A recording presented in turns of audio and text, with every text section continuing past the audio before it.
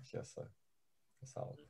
Bom, então, gravador, eu estava falando que meu mestrado, etc., Brauer, fui pesquisar o Brauer, e o Brauer disse que a linguagem dele veio do idioma Yorubá falado. Tá certo, gravador, então é isso. É, e aí eu inquiri ele, né? Falei, mas como? E ele pegou ele falou, um belo dia, quando eu tinha oito anos de idade, eu estava indo para um concerto com a minha mãe e no meio do caminho, lá em Cuba, a gente esbarrou numa roda de santeria cubana. Estava tendo um ritual de santeria. Santeria, para quem não sabe, a maioria de vocês não deve saber, é uma religião de matriz afra e como o candomblé é muito, muito semelhante, tem muitas semelhanças com o candomblé, é, por ter vindo também da região nígero-beninense é, da África.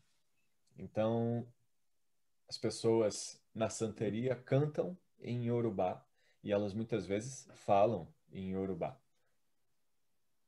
É, enfim, ele falou que ele teve uma experiência com essa roda e a musicalidade do idioma Yorubá falado ficou cravado no ouvido interno dele. Aquilo lá ficou na memória auditiva dele, quando ele tinha oito anos. E ele falou: Isso ficou na minha memória até meus 15 anos de idade, quando eu comecei a compor. E ele me explicou. É... Boa noite, Bernardo. É... E ele me explicou que o idioma Yorubá é um idioma extremamente musical. E pesquisando, ele não soube me explicar direito, né? Mas ele falou, por exemplo, é, certas frases como ele ele falou ele falou errado. Eu acho que ele quis falar da saudação a Xangô, né? Que é Kao Kao Cabenzile. É, ele falou cabio, cabiozilio. Isso daí é como eles pronunciam. Ele, fala, ele simulando. Cabio, cabiozilio. E ele pega e ele transfere isso para a música dele. E fui pesquisar, encontrei alguns pesquisadores nigerianos que, é, enfim, é, notaram que notaram não, eles eles já sabem, né? O idioma iorubá, ele é um idioma tonal, ou seja, para você entender as palavras, elas têm de ser ditas na altura certa. Ou seja, meio que na nota certa, não na nota certa, mas na altura certa. E tem três alturas: baixo, médio e alto. Pom, pi. Tipo assim. Essa galera precisa falar as vogais na altura certa para que a palavra tenha um significado determinado. Então, mesmo as palavras ditas em, com as vogais em alturas diferentes, elas assumem outros significados, certo? É, o mandarim também tem. É, existem outras, outras linguagens que são tonais assim também. É, o japonês, chinês, mandarim, essas línguas orientais, elas são, elas têm essa base. Né? Exato. E, e exatamente. E, e aí eu fui pesquisar o, o Yorubá e eu vi que, poxa vida, o pessoal lá na Nigéria muitas vezes se comunica via tambor.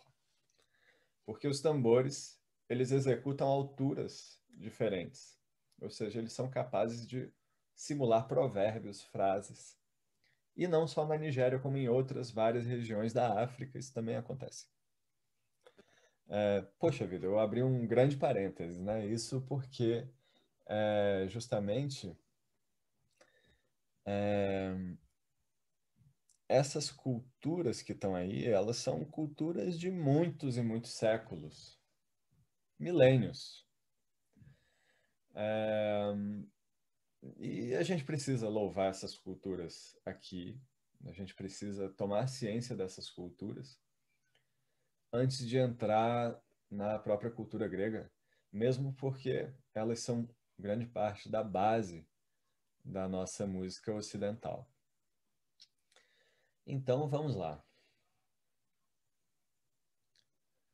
É, aqui eu faço uma consideração é, dizendo que. Oi?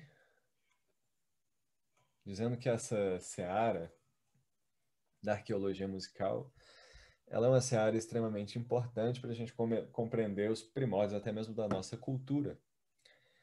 É... E essa área também exige um olhar muito acurado, porque por muito tempo, e até hoje, ela exige uma epistemologia, ou seja, um estudo do discurso. Tipo assim, a arqueologia, por muito tempo, ela foi olhada só por um ponto de vista é, muito calcado em suposições. Ah, tal ferramenta serve para isso. Parece que tal ferramenta serve para isso, então é para isso que serve tal ferramenta e todo mundo que está em torno daquele carinha lá que fez aquela suposição concorda com aquilo e não se questionam exatamente se aquela ferramenta serve para aquilo mesmo. Então, é, ela exige uma epistemologia até hoje é, para findar com pontos de vista unilaterais, mas é, a gente também precisa saber que muitos saberes é, da dita pré-história eles estão conservados é, até hoje por pessoas que continuam praticando esses saberes. Então, o xamanismo, por exemplo, é, é uma prática religiosa, uma prática ritualística, uma cultura que é praticada, enfim, os primeiros xamãs datam de 18 mil anos atrás. É, podem vir até antes. E nós temos xamãs até hoje em Tuvan, na Mongólia, é, na América do Norte, na, na América Central, é, etc. É, então, essas pessoas carregam um conhecimento que, enfim, está lá encravada nelas até hoje.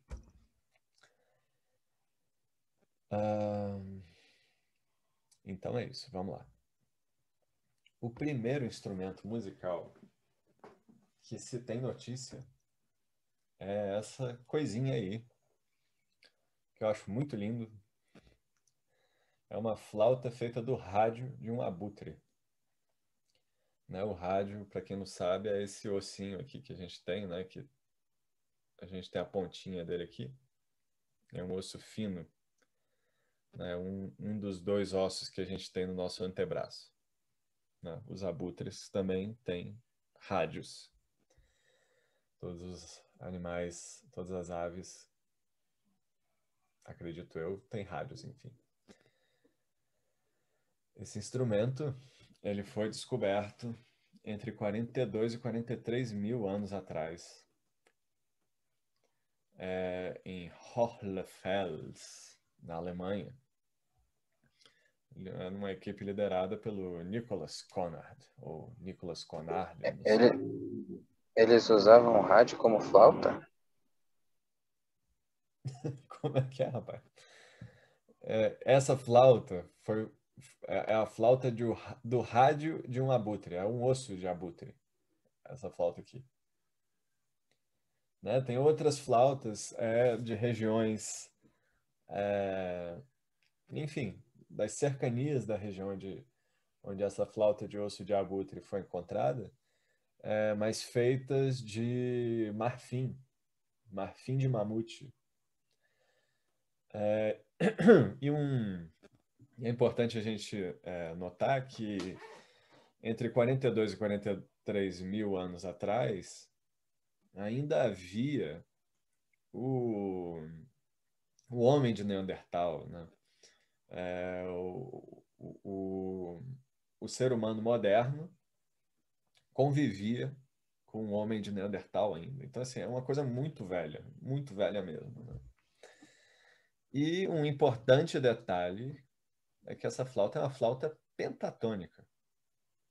Ou seja, ela já descreve uma escala pentatônica, lá 42, 43 mil anos atrás. Vamos dar uma escutada. Opa! Vamos dar uma escutada nessa flauta. Existe uma réplica dessa flauta que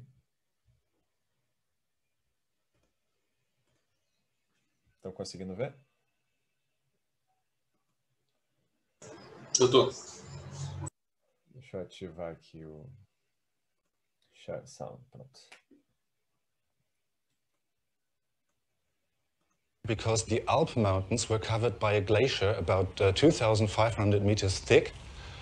And Esse camarada está explicando como é que era lá o, o clima da época. Ele está vestido, inclusive. É, só tem cinco notas nessa flauta. É, é, enfim, é, o clima nessa época era glacial. E ele está vestido é, a caráter, como o pessoal daquela época devia se vestir. And in the valley down there, reindeer and mammoths were passing, and it was very cold. And that's uh, the reason why I'm dressed up like an Inuit. Um, we presume that in this way the people of the Ice Age were clothed uh, by a, a reindeer fur and boots made of reindeer fur and reindeer leather, uh, because otherwise uh, you couldn't stand the cold.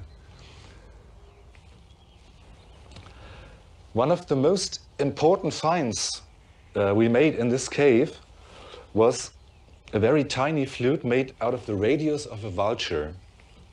Astonishing on this flute is that, is that, uh, that it is pentatonic. And this is uh, the same tonality we are used to hear today. And if you like, I'll try to play some small tunes for you. Então ele está falando que, enfim, a pentatônica ela é tocada até hoje, enfim, basicamente isso que ele falou.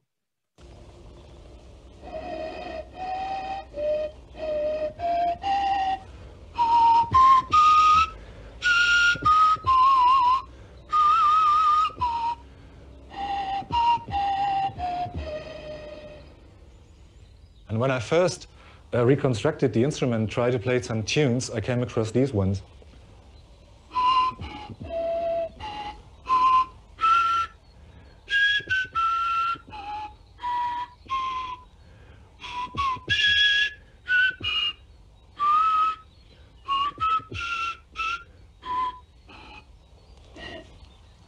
Sounds a little bit like Star Spangled Banner.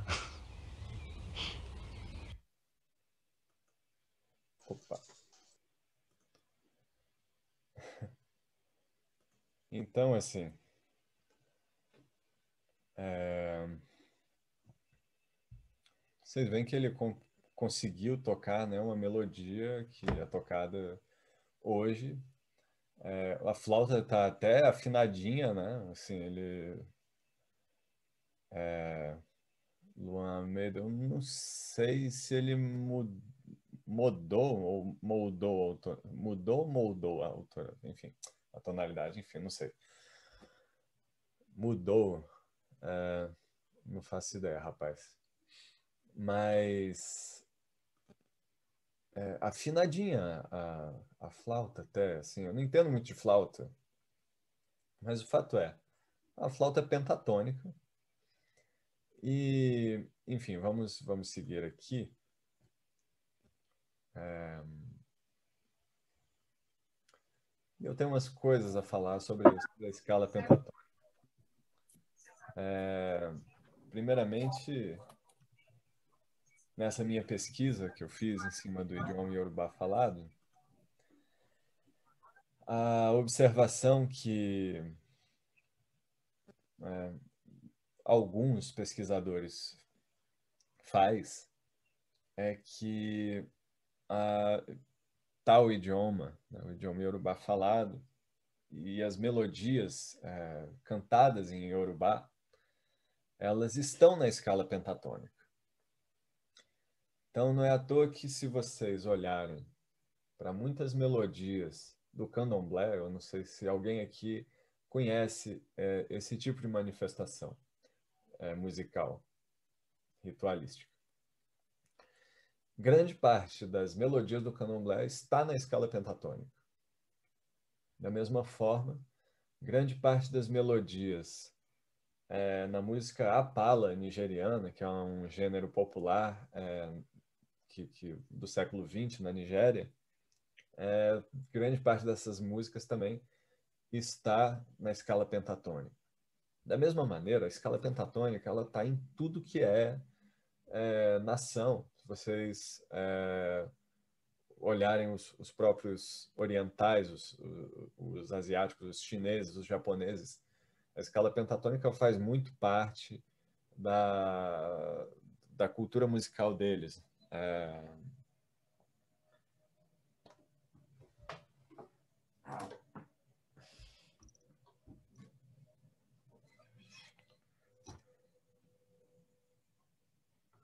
Let me see.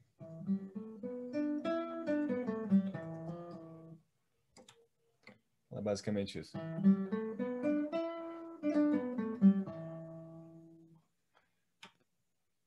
Essa escala pentatônica.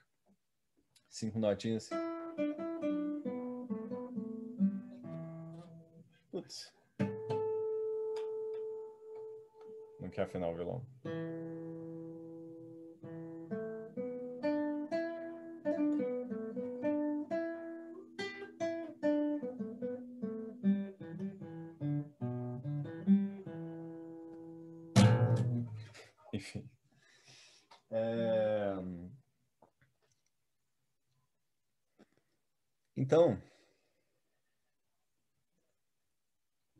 Voltar ao slide.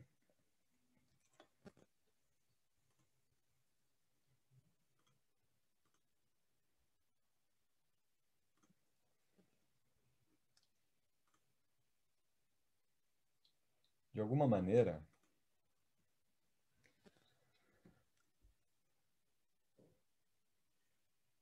a pentatônica, pela sua simplicidade, ela auxilia determinados idiomas tonais a serem tonais. Inclusive, Pemi Oludare, um pesquisador nigeriano que eu usei muito na minha dissertação, ele, ele afirma que o, a tessitura do idioma iorubá falado é pentatonal, é, enfim, não passa de uma quinta justa circunda o, a, a, pentatonalidade. É, então, de alguma forma, é como se uma escala, uma sequência de cinco notas, tivesse aliada à maneira como as pessoas falam, ou seja, meio que o idioma e a música caminham juntos. Da onde a gente tira que é como se música e linguagem verbal tivessem nascido juntas. Isso é de se esperar, porque é, no passado a gente não falava, o ser humano não falava, ele precisava gesticular, ele precisava desenhar na parede, ele precisava se valer de inúmeros mecanismos, recursos, para expressar suas ideias, expressar o que estava acontecendo. Então, essa flauta ela vem de antes de uma linguagem mesmo se estabelecer. A linguagem é, ela parece que só se estabelece em 40 mil anos atrás. Uma linguagem assim. Professor. Diga, Marisa. É, então, o sotaque seria uma Poderia ser uma forma de musicalização da fala? Talvez. Possivelmente. Possivelmente. Estão é, meio que juntas, tá tudo meio que caminhando junto. Então, é, só o simples fato de eu trazer para vocês essa flauta de rádio de urubu já mostra muita coisa. Já mostra um dado muito importante sobre a humanidade. A gente está fazendo música aparentemente, ao mesmo tempo de tempo que a gente está desenvolvendo a nossa linguagem, a gente está fazendo música, a gente está fazendo arte junto com a linguagem. Isso é uma coisa que, a princípio, é, pesquisadores já estudam isso, é, parecia ser algo dissociado do nosso convívio social. Inclusive, parece que as pessoas que nascem nessas culturas que têm a linguagem tonal, elas têm mais propensão a desenvolver o ouvido absoluto quando crianças. Valeu. Pois é, esse dado é importante também. Eu não, não sabia muito disso. É...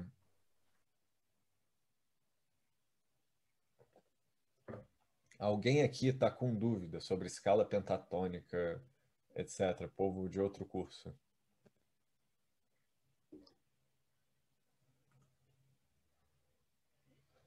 É, eu vou mostrar a Dan Lili para vocês.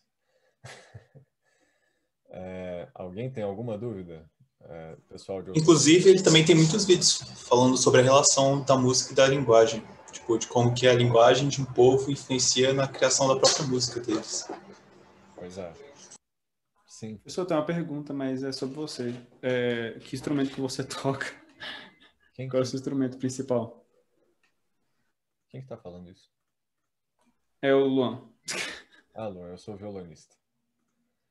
Ah, Vamos, vamos tirar Assim, dúvidas- só, só dúvidas pertinentes à aula, por favor. Isso aqui são muitas Ô. Pedro, É, Maria, Oi. tem conversinhas paralelas, por favor. Gente... não, eu só queria saber o que que, do que que ele estava falando, de, de quem ele estava falando para eu poder anotar. Adam Neely. O, no escreveu no chat. É só olhar no chat. Vamos lá, vamos lá. Vamos, vamos Ah, ver. tá, eu anotei a aula passada. Obrigada. É, então, assim, é, algumas conclusões né, que a gente pode tirar, uma- algumas eu já falei. Bom, há indício de um pensamento harmônico, né? Tem uma, uma flauta praticamente tonal ali, pentatônica, indicando aí que existe um pensamento estrutural mesmo, musical, acontecendo. É, ainda não havia, nessa época, um indício de uma linguagem completa de onde a gente pode supor essa cooperação entre música, dança e fala. E achei curioso que há flautas datadas aí dessa época, mas não há registros tão antigos de instrumentos percussivos. Eu achei isso estranho, assim. É, Uma vez que a percussão é tão forte na África, uma vez que os seres humanos mais antigos eles né, foram encontrados na África, né? Mas enfim, vamos seguindo. É, um dado um pouco chato, né, sobre a África é que ela guarda, por mais que ela guarde esse registro muito antigo de um ser humano, ela tem uma arqueologia extremamente negligenciada. É, isso se deve muito pela colonização europeia. É, há registros de, no período vitoriano, é, peças arqueológicas africanas sendo destruídas é, a fim de, é, enfim, os, os ingleses querendo encontrar, comprovar uma supre, supremacia branca naquela época e destruindo, enfim, uma série de, de, de dados arqueológicos preciosíssimos, né, que se perderam por completo. Agora, de toda forma, é, a gente pode perceber uma oralidade extremamente forte na cultura africana e a perpetuação, enfim, da, da, da história de muitos povos, ela se dá por meio de contos e, enfim, poesia e, e de outras maneiras é, que não a maneira arqueológica tradicional encontrada é, na Europa, né, que é a típica da Europa. Então, quando a gente é, for pensar em África, quando a gente for pensar em povos é, indígenas, for, for, pensar em xamãs, for pensar em culturas é, que seguem prezando é, por conhecimentos muito muito longínquos na nossa história, a gente tem que considerar a forma como essas nações, como esses povos, é, contam as histórias. Isso talvez seja mais importante do que o próprio fato arqueológico, físico, é, entender o porquê daquele, daquela ferramenta, para que, que serve aquilo, etc. É, então é isso. Aqui a gente tem é, a imagem de um xamã. É, aparentemente é um xamã vestido de bisão. E ele toca. Aqui o, a pessoa que escreveu isso é, sugere uma flauta. Mas a gente pode ver um formato de arco aqui. Esse arco meio que parece estar preso na boca dele, de alguma forma. Né? É, esse xamã, essa pintura rupestre, isso aqui é claro, é uma releitura, né? É, essa pintura rupestre data de 17 mil anos atrás. Então a gente já pode supor que haja um instrumento de corda aqui. Pode ser que não seja nada, né? nenhuma flauta, nem, nem um arco, nem nada. Mas muito possivelmente um arco. E curiosamente a gente vai para a África e a gente vê, é, especialmente na região de Burkina Faso, é, o ngongo, que é esse instrumento de corda, é, que, que nasceu do arco e flecha mesmo, segundo contam os africanos. É, eu vou parar aqui a nossa, a nossa exibição, porque está acabando o tempo, e, e vou, vou reiniciar aqui a, a chamada. Rapidão, gente.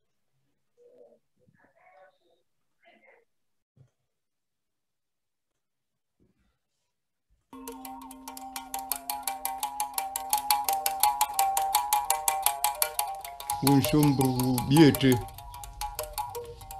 sumbu tegu ble bona biete dugu si begwe si nsumbu gu minchogu na mapinji dongu nyana ba ke baliela duka je yi no nga me bu me dengongo dugu si ben sumbu ba ke ba ke ba na njembo na mier no mi sumbu mi si ba ke mbundi na ele fala de regiões da África aqui que eu não, não tenho ideia de onde são, tá, gente? Então, é um instrumento usado muito em iniciações religiosas dessa região aí. Barabara como tá, barabara tinha genge, barabara como tá, barabara tinha. É de. É, essa simples cena aí já mostra aí uma união né, entre língua e, e melodia de alguma forma né, que está acontecendo. É, enfim, é o principal desse vídeo está mostrado. Agora, vou fazer, vamos, vamos ter agora uma demonstração de como essa oralidade, no caso do povo de Burkina Faso, é passada.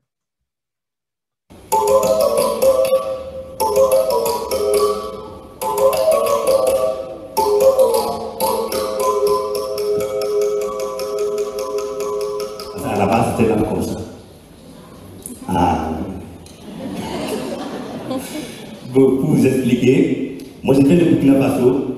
Dans la tradition, c'est un sachet qui utilisait la bouche pour chercher les éclairs.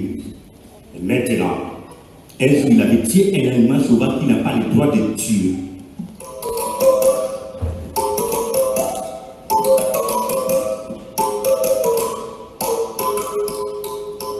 L'animal se met à trembler parce qu'il n'a pas le droit. Mais maintenant, va chercher des solutions pour que l'animal se réveille, il a transformé son art en musique pour chercher de l'amour, pour dire l'animal, c'est fini, on fait plus de mal avec l'art. Ça devient maintenant l'instrument Então ele narra uma história aqui, traduzindo para quem não consegue, é, para quem não tem condição. É, ele conta que, enfim, ele narra uma história muito poética de que esse arco é, ele era antes usado para caçar E tanto é que ele, ele faz um gesto, né? Esse instrumento antes era usado assim, ele faz um gesto de arco e flecha. É... E uma vez um caçador estava usando o arco para o arco de boca, como ele chama, para caçar e ele matou um animal que ele não era permitido de matar. Enfim, ele não tinha permissão para matar esse animal. Oba, Giovanna entrou, que bom. É... E para ressuscitar esse animal, para se redimir com esse animal, ele usou o arco para fazer música, a fim de buscar evocar a, a aura do amor e pedir perdão àquele, àquele animal e dizer que não ia mais fazer aquilo com o animal de novo e etc.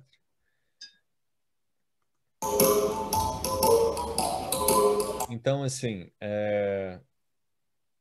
isso é uma maneira como, como, como esse, como esse pessoal aí desse, dessa região é, perpetua suas histórias, sabe, de uma maneira poética, de uma maneira é, de modo a, enfim, contar fábulas e, enfim.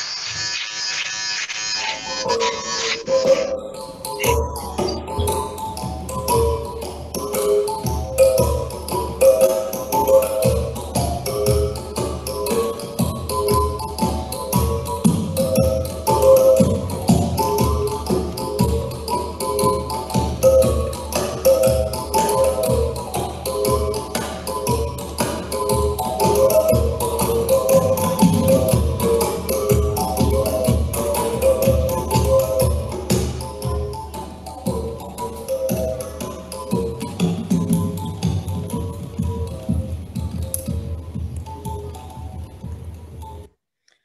Teatro do meu parente, Claude Lévi-Strauss, bom e velho, primo.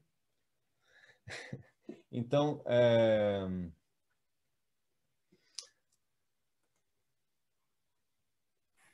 Pois é. Professor, como é que é tocado esse instrumento aí? É quase. É, então, sabe, ele é tocado da seguinte maneira: ele é um arco.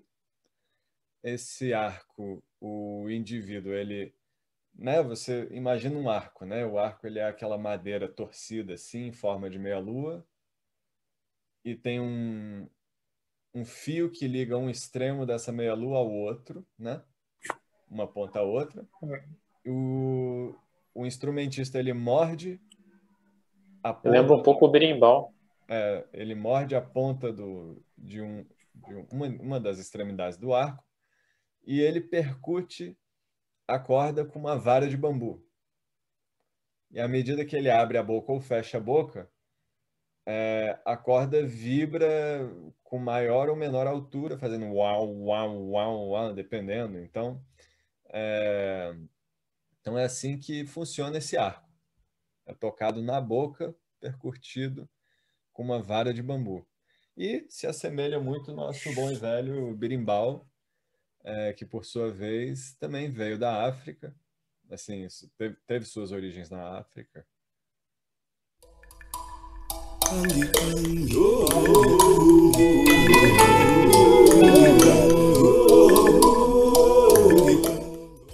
Hello there, my name is Luyolo Lenga. I'm a bow music player and a bow music teacher. And uh, in this video, we're gonna teach you how to play Uadi Calabash bow. Um, this instrument belongs to a class of instruments which is known as chordophones, meaning stringed instruments. So the sound or- is originated by the vibration of the string. Therefore, it travels through the stick and then it will como é que funciona. E aqui ele demonstra. bit instead of using your reed. It will also give you a chord of it.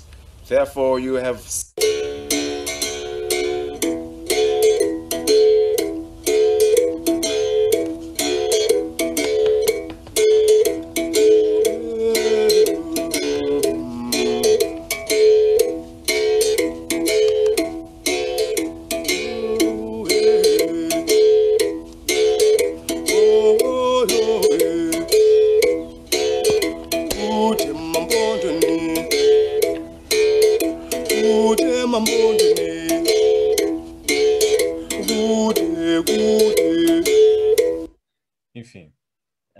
vocês repararem, é um instrumento muito parecido com o berimbau, extremamente parecido, é o mesmo princípio do berimbau, mas a cabaça, no caso, ela está bem mais para o meio do, é, né, desse, dessa haste de madeira.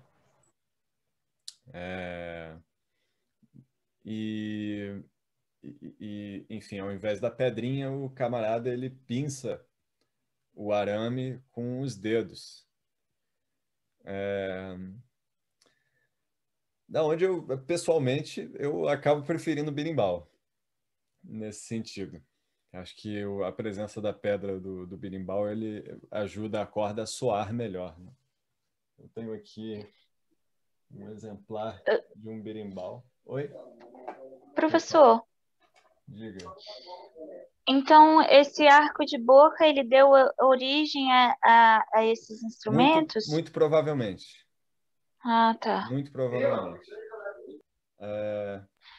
E o nome desse que está que tá mostrando aí agora é o que, esse do vídeo? O Radi Calabash. É Vixe Maria, tá, obrigada. É. o Radi Calabash. Está escrito aí. É, é... É, o berimbau ele tem uma, me parece ter uma, uma ressonância mais é a mesma sonoridade, né? Se vocês pararem.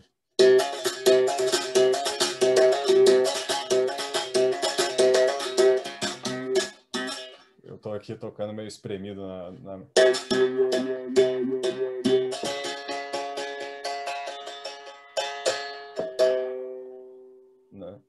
assim, quando a gente toca um birimbau, a gente meio que está tocando um instrumento de uma herança mais do que milenar. Certo? É, assim, um instrumento que remonta lá aos xamãs de, de 7 mil anos atrás. Então, assim, essas coisas são importantes da gente dizer, né? Porque, porque enfim, tem coisas que são reminiscências, estão aí até hoje. Né? Tão velhas quanto beber água, entendeu? né? São, enfim.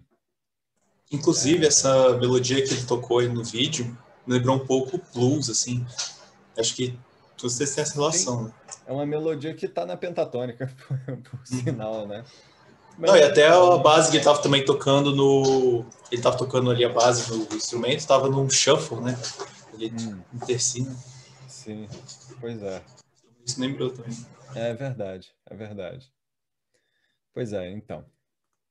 Então vamos, vamos seguindo, né, meu povo, para ver, vocês verem como tudo está conectado. Para seguir mostrando como tudo está conectado, é, a gente ainda tem aí uma concha de 17 mil anos atrás, que foi encontrada na França. É, E essa concha foi comprovada mesmo que ela era usada como meio de comunicação e é, como instrumento musical, claro. É, curiosamente,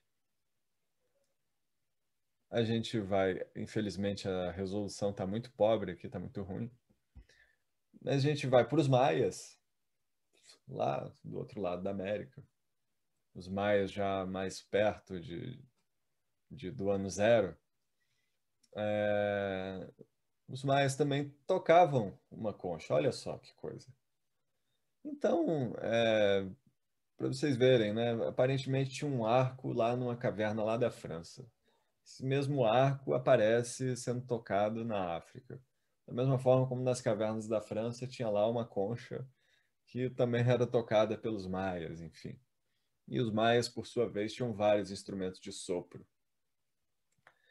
É, da onde a gente tira que os instrumentos de sopro também têm um papel assim, né? eles estão aí há muito tempo e há inclusive teorias de que os instrumentos foram criados para imitar a voz humana e bom, a voz humana precisa de ar e da onde a gente pode tirar uma possível relação com os instrumentos de sopro né, por sua vez.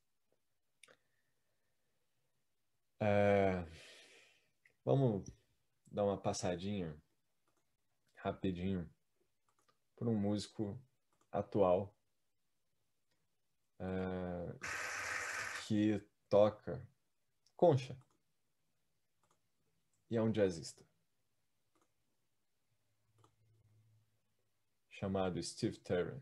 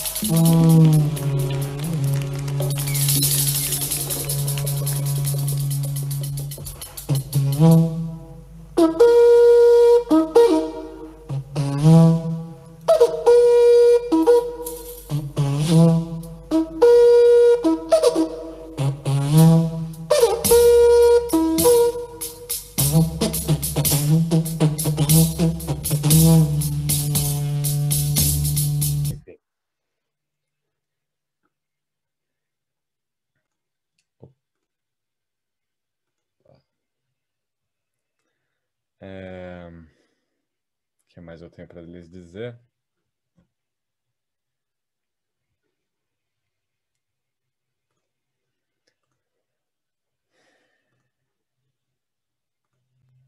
Então é isso. Professor, eu notei uma estrutura de metal em algumas das conchas. É, é, é- é- isso é, é alguma coisa da minha cabeça ou, ou tinha alguma estrutura além da concha com os, os furos para formar o instrumento? no, no caso do, do Steve Terry, Não, eu tinha visto num slide anterior. esse aqui, É, ó, isso, isso aí é um, um- é o quê? aparentemente tem um furo aqui, né? Ah, é um furo. É um furo. Eu não sei qual é a natureza desse furo aí. Uhum. É, mas enfim, era usado, né, como, como instrumento musical lá naquela época. É, Bom, aí nós vamos caminhando. Eu fiz uma breve linha do tempo. Acaba que nossa aula. Não, ela vai, ela vai, vai, vai, vai levar bem o tempo que eu estou planejando aqui que ela leva. Fiz uma breve linha do tempo. É, nós vemos aí há 35 mil anos atrás, e a gente vê até antes disso, né, flautas feitas de chifre de mamute, e lá 43 mil anos atrás a gente vê aquela velha flauta feita do rádio de um abutre. É, a gente percebe então que já naquela época havia um- uma preocupação com consonâncias e dissonâncias, havia é, a presença de um certo pensamento harmônico, ou seja, de um, enfim, de- da- da- do estabelecimento de uma escala. E outra coisa importante, né, é, a pentatônica, que é tão presente em tantas línguas, ela é uma escala que, segundo Erno Lendvai, que é um pesquisador húngaro, ela obedece à razão áurea nos seus intervalos. Daí que ela é uma escala que cabe dentro do ouvido da gente. Cabe com muita facilidade dentro do ouvido da gente, a ponto de se tornar ahn, extremamente natural. Eu vou passar mais um vídeo. Vocês vão me chamar de professor youtuber. É, Tudo que você toca em pentatônica soa musical, né?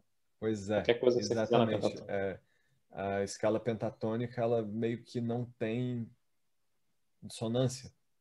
É, tudo, tudo encaixa, tudo cabe. É, isso Tem é alguma muito- relação divina para você também? Como é que é, sabe? Tem alguma relação com divindade, religiosidade, alguma coisa assim também, ou é mais É, acaba, puramente sonora? É, não, ela acaba ela acaba guardando, né, uma, uma relação com, enfim, ela acaba sendo utilizada em ritos é, diversos, não só os, os de origem africana. É, mas no candomblé, na santeria é, e nas manifestações religiosas da Nigéria, que foi o que eu estudei, é, ela é muito presente. É, deixa eu. Ai, meu Deus do céu. É, vocês já ouviram falar no cantor Bob McFerrin? Né? Muitos de vocês já. É,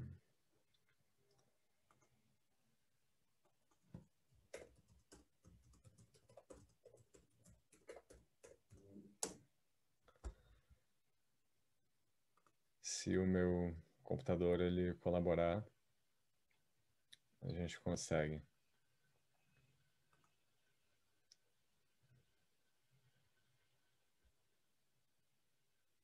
Ah, foi.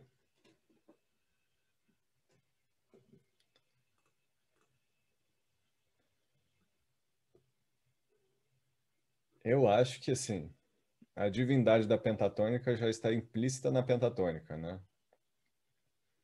Tanto é que chamam muitas vezes a proporção áurea. Travou aí pra vocês. Opa! Sim. Agora Ai, que susto. Até o Zoom tinha travado. Gente, meu computador ele é uma beleza. É, tá, agora vai. Não, não vai. Ai, Zoom, colabora comigo. pelo É só a voz voltou, mas pra mim é- o vídeo ainda tá travado. Sério. É, o vídeo ainda Sim, minha imagem tá toda preta. Sabe o que que está atrapalhando a minha reunião Zoom? A porcaria do Microsoft Teams, cara. Esse negócio é muito Nossa, eu odeio, esse- odeio o Teams com todas as forças. Muito Como ruim. é, como é que é? Odeio o Teams com todas as forças, muito ruim. Quer, tentar, quer que eu te ajude a colocar, professor? Eu acho que eu sei qual é o da pentatônica que o Bob McFerrin faz. É, sim, Luan, se você conseguir.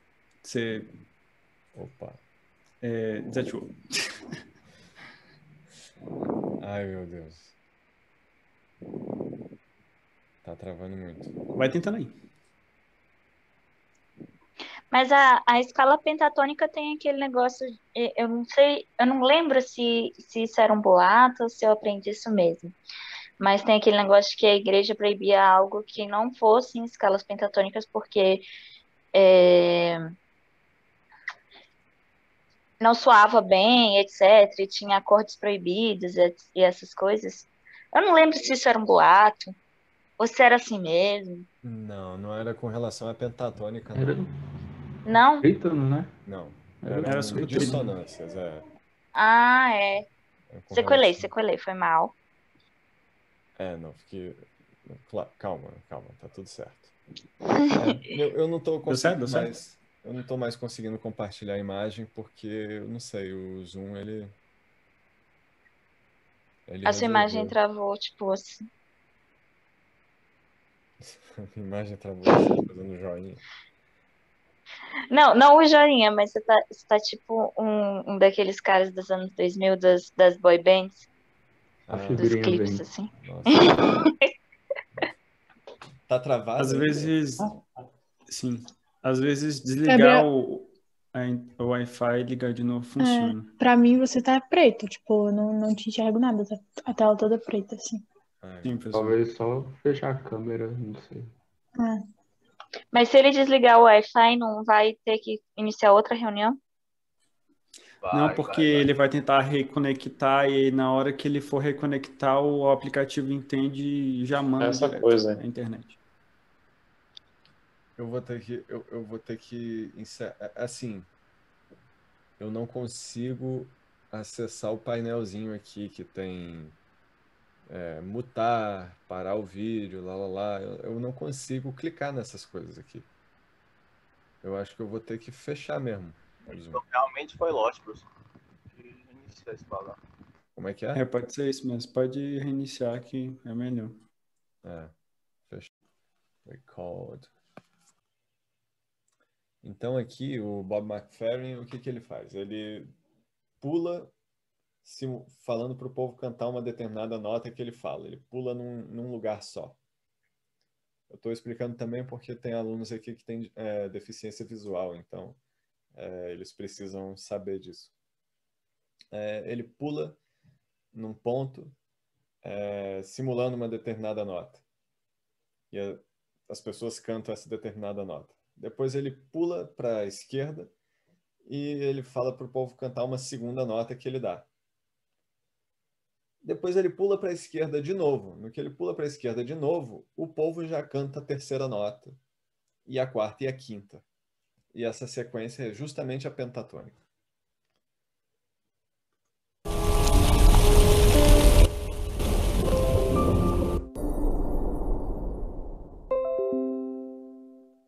Talking about expectations, expectations.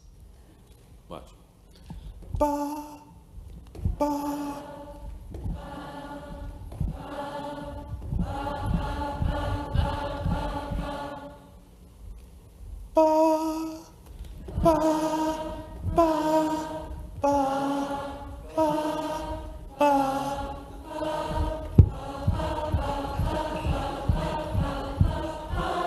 Okay.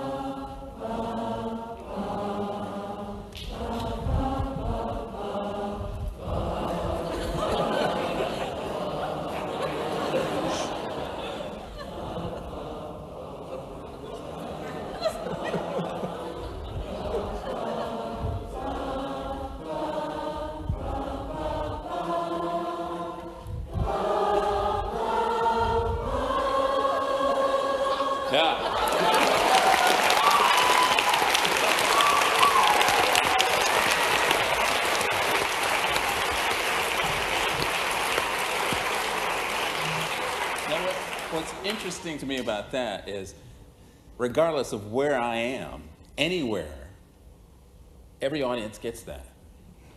But it doesn't matter, you know, it's just, you know, the pentatonic scale for some reason. If you're looking for a job in neuroscience, I think that. Então, é, ele explica, né, que qualquer lugar que ele vá, ele brinca isso, com isso, né, com a plateia, e a plateia segue. É, da onde se tira que a pentatônica é um negócio assim que está entranhado na gente. Enfim, é um princípio mesmo que é, que está na humanidade. Não me surpreende que a primeira flauta que se tenha registro há 43 mil anos atrás seja uma flauta pentatônica. Então, assim, super válido, né, meu povo?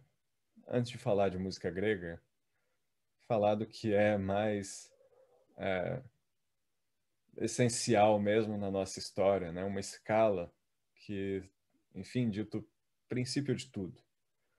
Uma escala é, completamente consonante, qualquer nota que você tocar numa pentatônica, ela vai cair bem. É, e a partir daí a música se desenvolve. Um, Vamos dar uma passadinha rápida. Eu vou ver se na aula que vem eu aprofundo um pouco mais. Eu já vou quase encerrar por aqui. Então a gente tem uma, uma linha do tempo, né? Esses primeiros instrumentos aí aparecendo é, desde antes de uma linguagem com verbo, com concordância, etc., é, se estabelecer, coisa de 43, 42 mil anos atrás. 35 mil anos atrás, a gente vê ainda mais flautas feitas de chifre de mamute. É, 17 mil anos atrás, a gente vê os registros dos xamãs tocando instrumentos, é, onde a gente imagina né, o, o, enfim, a gente vê a concha sendo tocada como instrumento de sopro, a gente vê o que pareceu ser um arco é, sendo tocado por um xamã.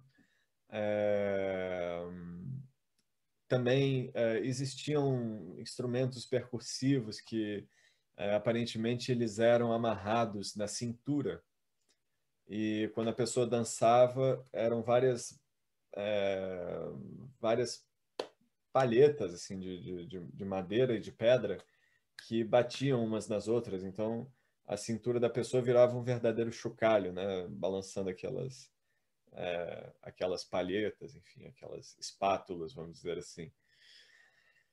É... que mais? Eu ia falar algo mais. E sim, é, tem esses registros físicos, certo? E tem a ausência de registros físicos em localidades como a África, é, mas que enfim, tem povos que a gente nota uma oralidade narrando histórias que, poxa, você não sabe de quando são, de onde vêm, é, e que precisam ser levadas em conta aí nessa, nessa construção do pensamento musical do ser humano. É, o mais importante que a gente tira, ao meu ver, é a coexistência entre música e fala, entre música, dança e fala, música, dança, representação imagética, porque né, muitas pinturas rupestres, pintura rupestre tem é, de todas as épocas, enfim, até hoje nós temos nossos modernos é, pintores é, murais é, aí andando pelas cidades contando os nossos dramas. É, então, enfim, é, temos aí a importância também das, dos povos não orais e que não têm registros físicos, mas que estão né, aí retratando tradições que remontam do tempo que o pessoal tocava flauta de chifre de mamute, enfim. Uh, de 6 a 5 mil antes de Cristo é que há registro dos mais antigos tambores, esses tambores estão na África, na Ásia, no Oriente Médio, especialmente. O que eu acho meio estranho, assim, eu, eu acho meio estranho. Né? O povo estava tocando arco lá naquela época, eu acho que tambor também deviam estar tá tocando há 17 mil anos atrás. E não mostrei a vocês um vídeo, mas enfim, os tambores eram meios de comunicação, é, são até hoje, é, em algumas regiões africanas. Na Nigéria, nós temos o próprio tambor falante, é, nós temos o tambor batá também, que é um outro tipo de tambor. Todos esses tambores, eles é, tocam em alturas diferentes e por isso eles são, é, eles permitem ao instrumentista é, retratar fala, provérbios e, e, frases específicas e até mesmo recitar poemas, né? É, isso, ao meu ver, é uma coisa muito, muito, me parece ser uma coisa mais antiga do que esses registros de tambores antigos, mas enfim. E aí, é, 3.200 anos antes de Cristo, a gente começa a ver os sumérios na Mesopotâmia, o primeiro povo da Mesopotâmia. Depois dos sumérios vieram os acádios, e se não me engano, são os, os principais povos da Mesopotâmia. Paralelo a eles, a gente tem os povos asiáticos também. né, 4000 antes de Cristo, é, idade do bronze, é, o povo, os indianos, eles já estavam aí. E, inclusive, os Samavedas, é, escritos de, de cânticos é, indianos, eles já estavam aí, as pessoas cantavam os escritos dos Samavedas em forma de mantra. É, e eu vou colocar um exemplo aqui para vocês, porque acho, acho que só enriquece a nossa, a nossa aula. Vocês estão curtindo isso, assim, de eu sair passando exemplos para vocês, ou vocês estão achando meio demais? Eu curto. É show, tá massa. Sim, Achei da hora, até para ter uma visão melhor também para saber como é que funciona, né? Ah, bom demais. Então tá massa. É, é para mim é tá... fundamental ter o som. Deixa, é... Eu acho pessoalmente que deixa menos monótono, inclusive, do que É. ficar só lendo slide. É, pois é, exatamente. Eu, eu- eu vejo que tem muito professor que só passa e fica falando e, poxa, na hora de dar um exemplo, não dá, né? Pelo amor de Deus. Eu acho que É, aqui num curso, curso de Eu acho que música, a única parte ruim é a, é a plataforma ficar bugando, professor. Ah, isso é, isso é verdade. Bom, É, isso é vamos chato. escu- Vamos escutar aqui um, um- um clássico canto dos Samavedas. Eles são um pouco gritados, então, assim, quem, quem puder, vamos abaixar um pouquinho os fones aí, quem tiver com fone. É,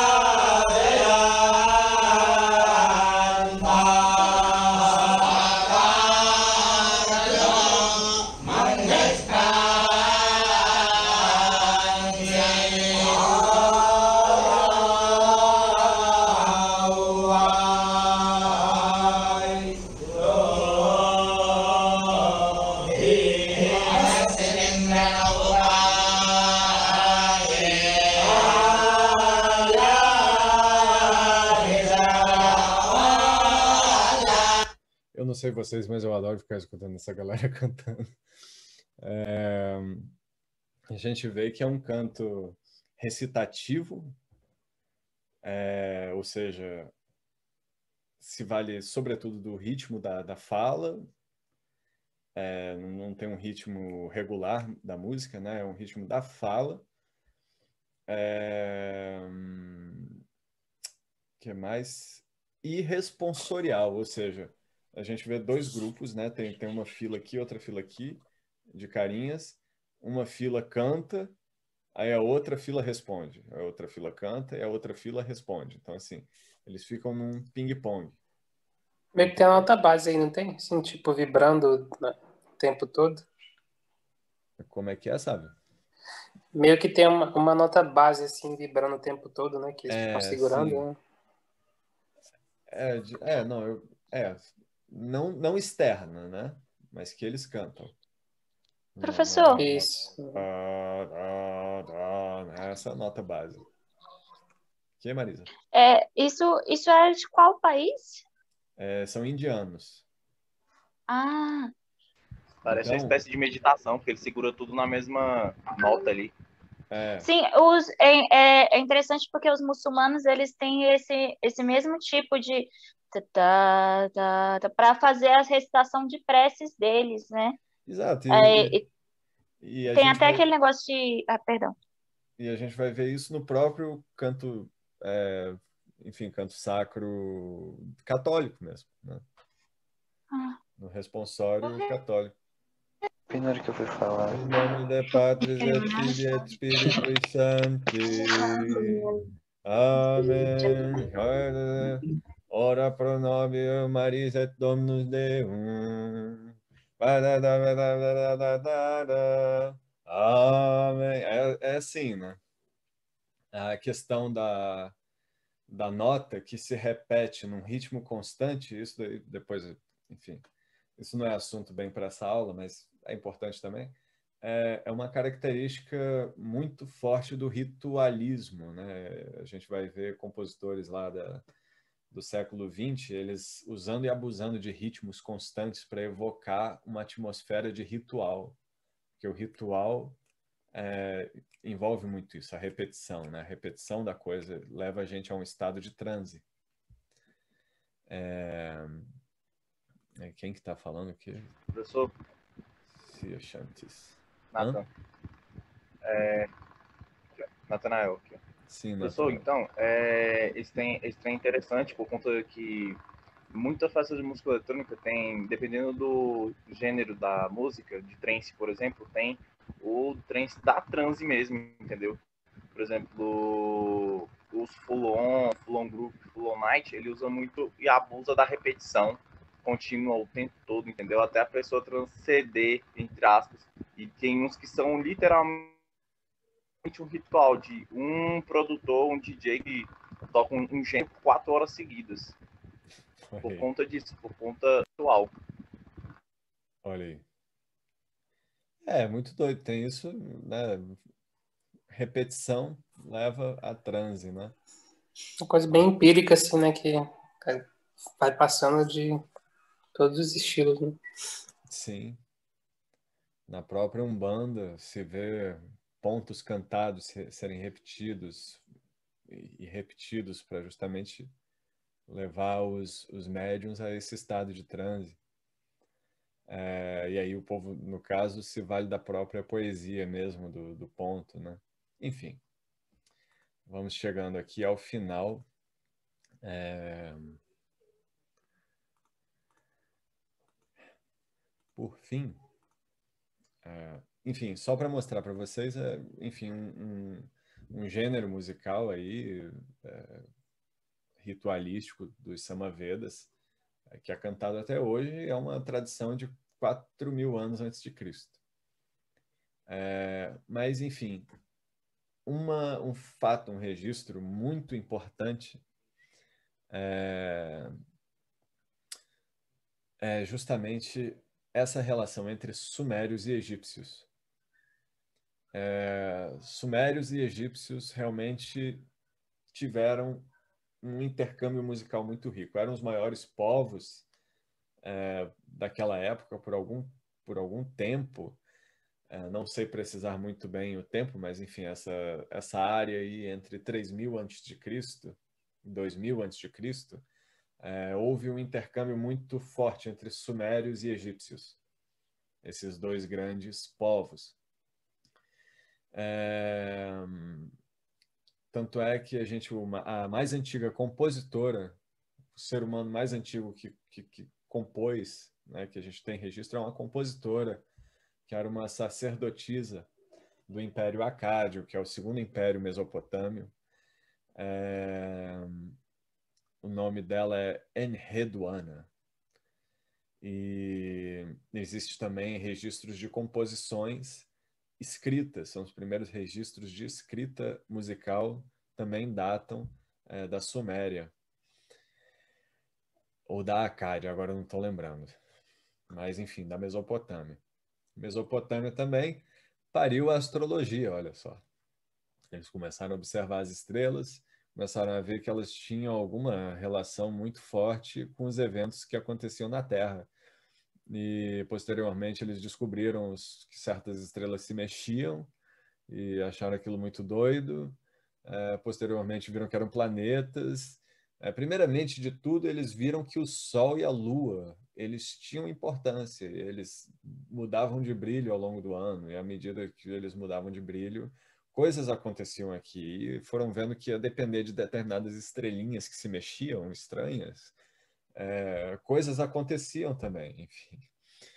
E aí a astrologia seguiu, a partir dos mesopotâmios, um longo e tortuoso caminho de louvores e, e, repúdios e enfim o povo ora estava louvando a astrologia ora repudiando a astrologia mas até os romanos é, aceitaram, acataram a astrologia como uma ferramenta muito eficiente de previsão. Enfim, falei de astrologia o tanto que eu tinha que falar. É, quem quiser saber mais, é 170 reais a consulta, estou brincando. E, e, enfim, dentre esses instrumentos, era onde eu queria chegar, é, dentre essas, sobre esse intercâmbio né, do, entre egípcios e mesopotâmios, é, uma das coisas que nós podemos ressaltar é os instrumentos que esse povo usava. Então, já haviam liras, harpas, trompetes, oboés, chocalhos e cistros. É, cistros são tipo uns, é um, é um chocalho bizarro de metal que você fala, meu irmão, de onde veio essa parada, né? Enfim, quem foi que teve a brilhante ideia de fazer esse negócio, enfim. É, provavelmente foi um ábaco, entendeu? Aquele, aquele instrumento de, de contagem que algum matemático ensandecido começou a brincar de, de chocalho com um ábaco e desenvolveu então o cistro. Mas eu achei interessante assim o fato de haverem oboés, sabe? Instrumentos já de, de, de paleta, palheta dupla é, e até mesmo trompetes, enfim. É, enfim, essa, essa riqueza instrumental, infelizmente, ela não possui, possui quase zero registro. É, salvo uma, uma composição é, mesopotâmica, que com ela eu vou encerrar a nossa aula. É, se não me engano, ela está aqui, era para estar, não está. É,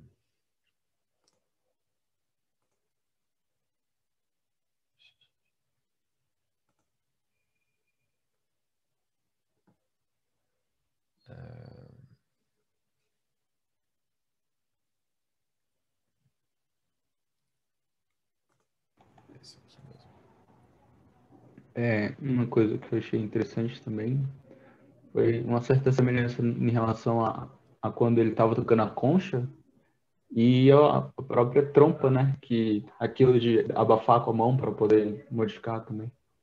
Sim, é verdade. Também notei essa semelhança quando eu vi a primeira vez. Mas sabe quando você nota e você, sei lá, você deixa passar?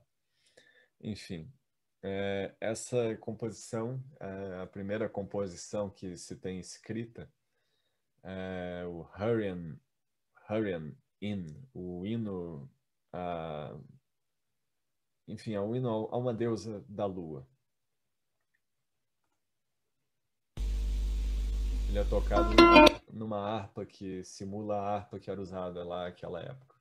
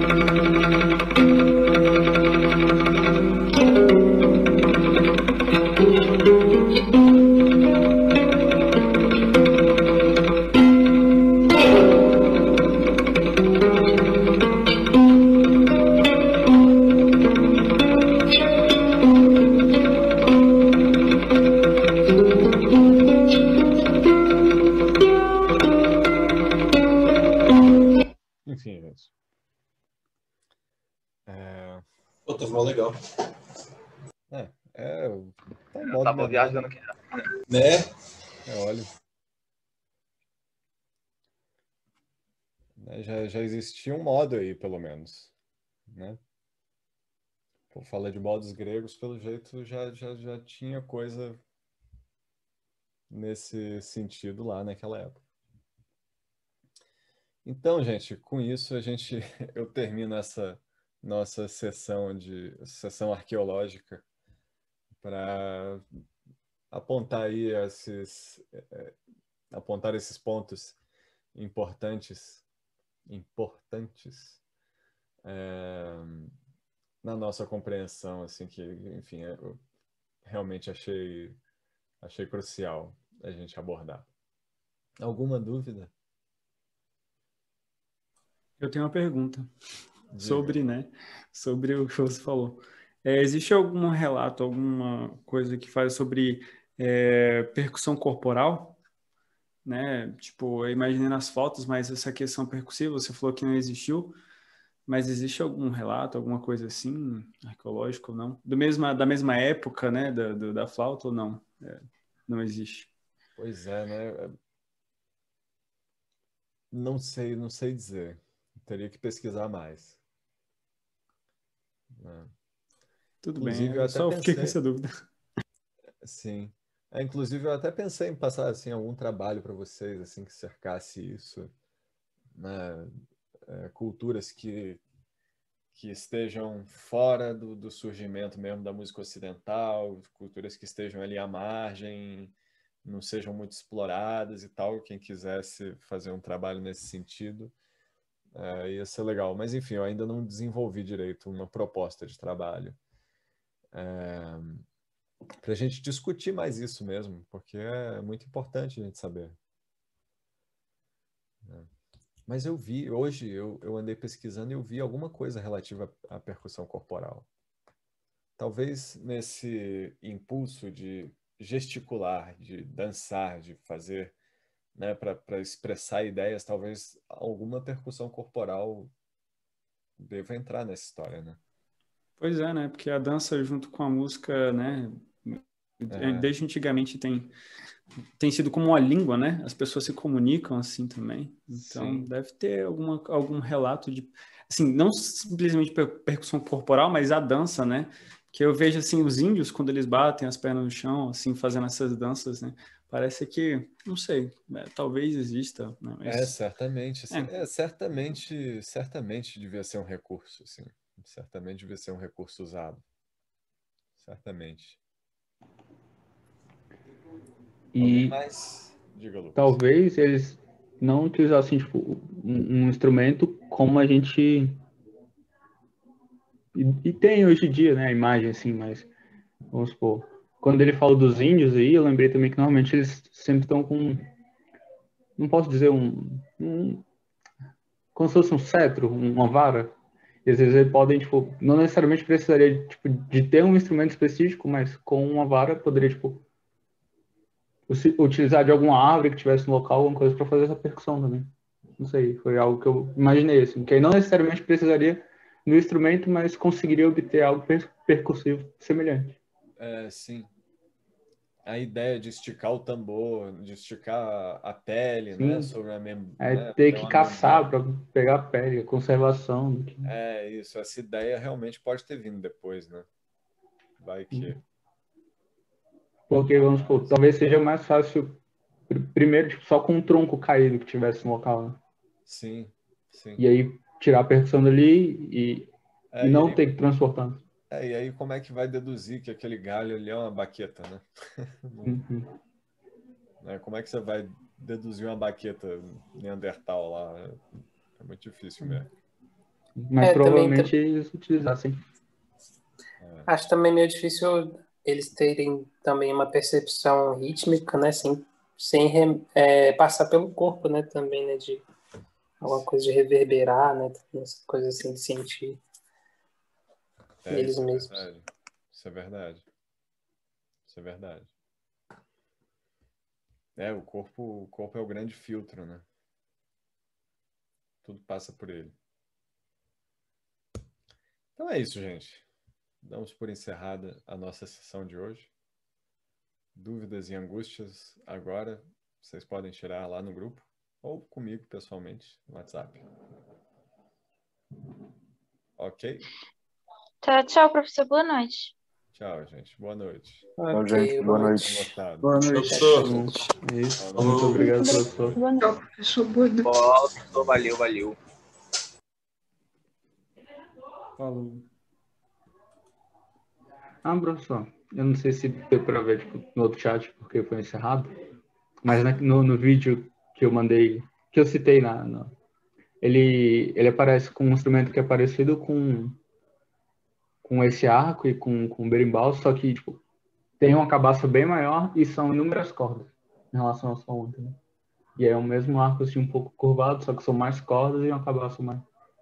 E aí no lugar de ter uma, um- uma varinha ali, ele vai dedilhando. É Mas agora? fica essa semelhança. É, eu já não, não, não lembro assim. Tá, eu vou dar uma pesquisada, porque tem a harpa africana, né? Chama-se Hum, Cora. Depois você pode procurar Tumani Diabaté, que é um, um arpista africano. É muito bonito. Muito bonito o som da Cora. Acho que talvez até seja esse mesmo, pelo que eu É, tô olhando aqui. possivelmente, é a Cora. Bom, Lucas, eu vou ter que encerrar aqui, porque Muito obrigado. uma aula, uma aula de LEM para dar aqui. Falou, tchau. gente. Falou, Lucas. Um abraço. Um abraço.